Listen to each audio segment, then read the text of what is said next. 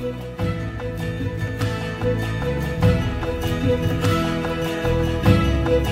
you.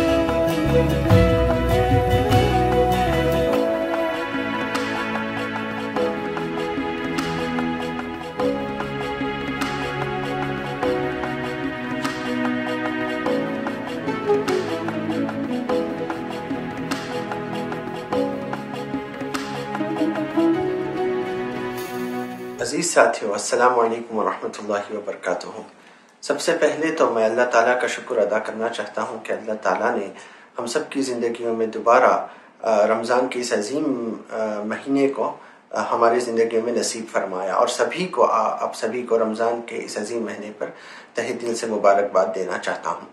Ramzan के महीने की अहमियत और फजीलत क्या है? इसका, इसकी इम्पोर्टेंस क्या है? इसके बारे में आज हम कुछ इन गुफ्तु करेंगे। रमज़ान की अहमियत को समझने के लिए हमको इस बात को समझने की ज़रूरत है कि अल्लाह ताला ने इंसानों को पैदा क्यों किया। और इस दुनिया में भेजने का मकसद क्या है? हम सब जानते हैं कि अल्लाह ताला ने इंसान को जब पैदा फरमाया तो जैसे कि कुरान में है अल्लाह फरमाता है कि फजुराहा व तकवाहा। यानी इंसानों के अंदर दोनों शर के और खैर के दोनों एक्सट्रीम पोटेंशियल्स अल्लाह ताला ने इंसान के अंदर रखा। चुनाचे आप देखते हैं कि जब इंसान नेकी करने पर उतर आता है और नेक बनना चाहता है तो, तो इतना नेक बन सकता है कि फरिश्तों को भी पीछे छोड़ दे। और अगर बुराई पर उतर आए तो इतना गिर सकता है कि फिर शैतान भी कान पकड़े। चुनाचे इंसान के अंदर ये दोनों एक्सट्रीम पोटेंशियल्स हैं। तो अल्लाह ने जो इंसान को इस दुनिया में भेजा, वो असल इसी इम्तिहान के लिए कि ये दोनों पोटेंशियल्स तो अल्लाह ने रखे और चॉइस दे दी, इख्तियार दे दिया कि आप दोनों में से जो चाहे इख्तियार करें। तो टेस्ट असल इस बात का है कि हम दोनों में से किस चीज़ को हम इख्तियार कर रहे हैं। और अल्लाह ताला ने अपने ख़ास रहमत के साथ इस चीज़ का भी अहतमाम कर दिया कि इंसानों को वक्ता फ़वक्ता अपने डिवाइन गाइडेंस से नवाजा, जो अम्बिया और रसूलों के ज़रिए से इंसानों को दिए गए। और उसमें इस बात की तालीम है कि किस तरह से इंसान अपने खैर के या पॉजिटिव पहलू को इख्तियार कर सकता है, उसको बढ़ावा दे सकता है, उसको निखार सकता है, किस तरह अपने जो मनफी साइड है, अपने जो नेगेटिव साइड है, उसको कंट्रोल में ला सकता है, उसको कम कर सकता है और उसको ख़त्म कर सकता है। तो असल में ये जो लाइफ का टेस्ट है, वो यही टेस्ट है, यही मकसद के लिए अल्लाह ने भेजा इंसानों को, ये आजमाने के लिए कि इंसान इन दोनों में किस चीज़ को इख्तियार करता है। और साथ साथ अल्लाह ने इस चीज़ का भी अहतमाम किया कि डिवाइन गाइडेंस और इलाही हिदायत हमको दी है कि हम दोनों में से सही चीज़ को इख्तियार किस तरह से इख्तियार करें और नेगेटिव चीज़ से किस तरह से डील करें, इसका भी अहतमाम किया है। और इस सिलसिले में हम सब जानते हैं कि जो आखिरी कड़ी है वो मोहम्मद रसूलुल्लाह को अल्लाह ताला ने कुरान के ज़रिए से इस दुनिया में भेजा और ये ता क़यामत के लिए हिदायत नामा है। तो अब रमज़ान की अहमियत वो इससे इस तरह से जुड़ी है कि इंसान को जो हमारी ये तरबियत करनी, यानी हमारा जो ये टेस्ट है, ये टेस्ट में कामयाब होने के लिए ज़रूरी है कि इंसान अपनी तरबियत करे। वरना ये ऐसा नहीं है कि आप ये बात समझ भी लें कि हमको अच्छा कर, अच्छाई करनी है, बुराई से रुकना है। इसका शूर होने से भी नहीं चलता क्योंकि इंसान के अपने नफसानी कमजोरियात हैं। साथ शैतान लगा हुआ है जो हमको बुराई की तरफ़ उभारता है, नेकी से हमको रोकता है। तो इन सब चीज़ों को रखते हुए इस बात की ज़रूरी है कि हम हमारी तरबियत करें। ताकि हम ज़्यादा से ज़्यादा खैर का काम करें और ज़्यादा से ज़्यादा बुराई से बचें। और ये आसानी से हासिल नहीं होता, इसके लिए तरबियत ज़रूरी है। तो देखिए, अल्लाह ताला ने अपने ख़ास फजल से, ख़ास रहमत से इस चीज़ के, इस चीज़ को भी हमारे लिए आसान कर दिया है कि इबादत की शक्ल में हमको ये एक्सरसाइज एक डिवाइन अरेंजमेंट कह लीजिए, हमारे लिए किया है कि रमज़ान के महीने में रमज़ान के महीने में जो हम इबादत करते हैं, यानी रोज़े की इबादत, दिन भर हम खाने, पीने से और बहुत सारे वो चीज़ें जो हमारे लिए आम हालत में हलाल है, उससे हम रुकते हैं, ख़ास अल्लाह की खुशनुदी हासिल करने के लिए।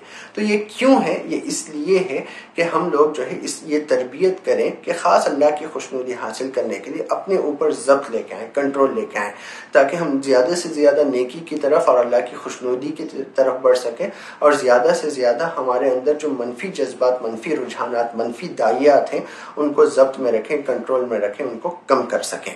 तो यही हमको तरबियत इस रोज़े के, इस इस एक्सरसाइज के ज़रिए से हमको हासिल होती है।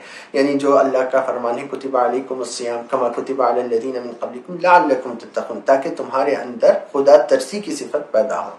खुदा तरसी यही चीज़ है कि हम अल्लाह की खुशनुदी हासिल करें और उसी शक्ल में हासिल होती है कि हम अपने पॉजिटिव साइड को जितना उभारें। जितना नेकी और खैर की तरफ़ जाएँ, जितना मनफी और शर से हम अपने आप को बचाएँ।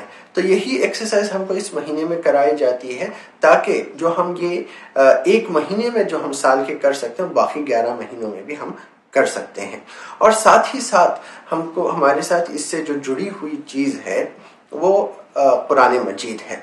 हम जानते हैं कि अल्लाह ताला के आखिरी रसूल मोहम्मद रसोल्ला को जब अल्लाह ने इस दुनिया में रसूल बनाकर भेजा तो रमज़ान के महीने में पहली वही आप पर नाजिल हुई।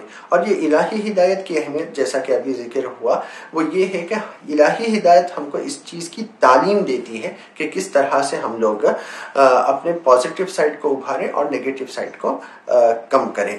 तो ये तालीम हो गई और तरबियत के लिए रोज़े का अहतमाम हो गया। इन दोनों के ज़रिए से जो है हमारी ज़िंदगी में अल्लाह अल्लाह ने इसका अहतमाम कर दिया किस तरह से हम ये एक्सरसाइज कर सकते हैं किस तरह से हमारी तरबियत कर सकते हैं किस तरह हम अपना तस्किया कर सकते हैं और किस तरह हम तालीम का अहतमाम कर सकते हैं ताकि जो हम साल भर के आ, में अपने आप को एक बेहतर तब्दीली का ज़रिया बनाए। वरना जो है जो इंसान के साथ खैर और शर का पहलू लगा हुआ है तो अगर उसका बार बार हम इस तरह से अपने आप को तरबियत ना दें तो ये बात मुमकिन नहीं है कि हम अपने मकसद में कामयाब हो सकें। इसी से जुड़ी हुई एक और चीज़ है, वो है इन्फाक। खैर और नेकी की जो ये एक्सरसाइज हम करते हैं, और बुराई से रुकने का, इसका जो सबसे बड़ा मजहर है, वो इन्फाक या खुदा की राह में खर्च करना है। क्योंकि इंसान का, यानी जो सबसे बड़ा मैनिफेस्टेशन है नफ्स मोहब्बत का, वो माल और दौलत की मोहब्बत है। कि आदमी तो अपने ऊपर तो खर्च करने के लिए बहुत कुछ खर्च करता है और हमेशा तैयार रहता है, लेकिन जब दूसरों पर खर्च करने की बात बात आती है तो तब वहाँ जो है बुखल और तंदिली का मुजाहरा करता है। तो आदमी जितना अपने अंदर ये आदत डाले कि दूसरों के ऊपर खर्च करे, अल्लाह की खुशनुदी के लिए दूसरों पर खर्च करे, दूसरों का ख्याल करते हुए उनके लिए हमदर्दी में खर्च करें, उतना ज़्यादा वो अपने नफ्स के ऊपर जब्त ला सकता है। तो इसी की एक्सरसाइज के लिए इस रमज़ान के महीने से इन तीन चीज़ों की खास रमज़ान से ताल्लुक़ है, यानी तस्किए का कुरान मजीद का और जो है इन्फाक का। अब इस हवाले से जो है, ये तो रमज़ान की अहमियत के हवाले से है। अब हम चंद चीज़ें ज़िक्र करते हैं रमज़ान के सही तौर पे इस्तेमाल करने के हवाले से।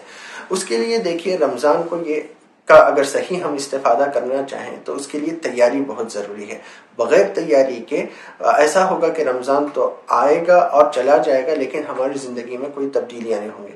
हम कुछ उनतीस तीस दिन के लिए भूख प्यास का तो अहतमाम कर लेंगे, लेकिन उसके नतीजे में जो असल चीज़ हासिल होनी, वो नहीं होगी। इसकी बहुत खूबसूरत मिसाल मोहतरम खुर्रम मुराद साहब अपने किताब से इस्तबाल रमज़ान में इस तरह से देखते हैं कि रमज़ान और उसकी बरकतें और रहमतें जो है बारिश की मानंद है, जो एक साथ तौर पर सब पे पड़ती है।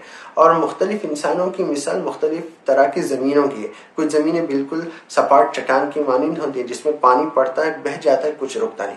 कुछ ज़मीनें जो है जरखेज़ होती हैं, उसके अंदर कुछ पानी रुकता है। कुछ ज़मीनें और ज़्यादा होती हैं, उसके अंदर ज़्यादा पानी रुकता है, तालाब बन जाता है। तो रमज़ान से इस्तेफादे का ताल्लुक अलग अलग लोग अलग अलग तौर से करते हैं। और वो चीज़ के लिए ज़रूरी है हम कि कितना अपने अंदर तैयारी करते हैं ताकि हम रमज़ान में ज़्यादा से ज़्यादा इस्तेफादा करें। बग़ैर तैयारी के जो है, रमज़ान आएगा और चले जाएगा और उससे कोई तब्दीली हमारे अंदर वाक़ नहीं होगी। जैसा कि एक हदीस में आता है कि मल्लम यदा कौलजूरी वलामल हाजत यदा ताम व शराबा। कि जो झूठ बात से और बुरे कामों से अपने आप को रोकता नहीं, अल्लाह ताला को इस बात की कोई ज़रूरत नहीं है कि वो भूखा और प्यासा रहे। तो भूख और प्यास से बढ़कर जो असल मकसद, रमज़ान के मकसद को हासिल करने की बात है, उसके लिए ज़रूरी है। कुछ तैयारी हम रमज़ान से पहले करें, जैसा कि हमारे मेंटल, इमोशनल और फिज़िकली हम कंडीशन कर लें अपने आप के रमज़ान आ रहे हैं, अपना एहतसाब करें, जायज़ा लें कि हमारे अंदर क्या कमियाँ हैं, क्या कमज़ोरियाँ हैं, क्या चीज़ें हम रमज़ान के ज़रिए से तब्दील करना, रमज़ान के मौके का फ़ायदा उठाते हुए हम तब्दीलियाँ अपने अंदर पैदा करेंगे। इसी तरह जो है मेंटल प्रिपरेशन के साथ फ़िज़िकल प्रिपरेशन अगर कुछ लोगों को रोज़ा वगैरह रखने में दिक्कत आती है तो रमज़ान से पहले रोज़े रखने की आदत डाल लेंगे तो रमज़ान में रोज़ा रखना आसान हो जाएगा। इसी तरह से जो है, और मेंटल फ़िज़िकल इमोशनल प्रिपरेशन हम करें, एहतसाब लें, जायज़ा लें और तैयारी करें। रमज़ान के महीने में तब जाके हम सही फ़ायदा उठा पाएँगे। किस तरह से हम ताल्लुक़ बिल्ला बेहतर बना सकते हैं, किस तरह से हम कुरान से अपना रिश्ता जोड़ सकते हैं, कुरान पढ़ने से, समझने से, गौर व फ़िक्र तदब्बर करने से, उसकी तालीमत को अपनी ज़िंदगी में लाने से। इसी तरह जो है, राह खुदा में खर्च करना, दूसरों, इंसानों के साथ हमदर्दी को बढ़ाना, इंसानों का ख्याल करना, माल की मोहब्बत के अलग रकम दूसरों को तरजीह देना, उनकी ज़िंदगियों को बेहतर बनाना, जिस तरह के अल्लाह ताला ने हमारी ज़िंदगी को बेहतर बनाया, इन तमाम चीज़ों को सही तौर से हम अंजाम दे सकते हैं। और इस जितना हम रमज़ान से पहले तैयारी करते हैं, रमज़ान में अहतमाम करते हैं, उतना ही ज़रूरी है कि हम रमज़ान के बाद भी उस चीज़ को जारी रखें ताकि साल भर हमारी ज़िंदगियाँ बेहतर तौर पे जो है हम अपनी ज़िंदगियाँ गुजार सकें, उस मकसद के मुताबिक गुजार सकें जिसके लिए अल्लाह ताला ने हमें पैदा किया। तो अल्लाह ताला से दुआ है कि अल्लाह ताला हमको इस रमज़ान को एक तब्दीली का रमज़ान बनाए, एक मुस्बित तब्दीली का रमज़ान बनाए। ऐसा रमज़ान बनाए जो जो इस रमज़ान के बाद हमारी ज़िंदगियाँ बेहतर ज़िंदगियाँ बन जाए। इस चीज़ से अल्लाह ताला हमको बचाए कि ये रमज़ान बस हमारे भूख प्याग प्यास का रमज़ान और उसके अलावा और चीज़ें कुछ हासिल ना हो, ऐसा रमज़ान हमारे लिए ना बनाए।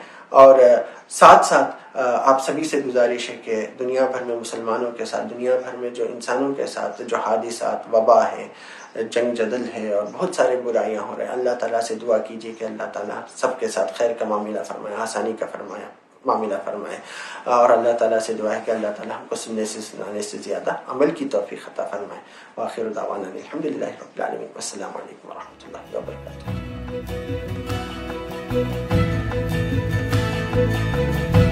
अल्लाम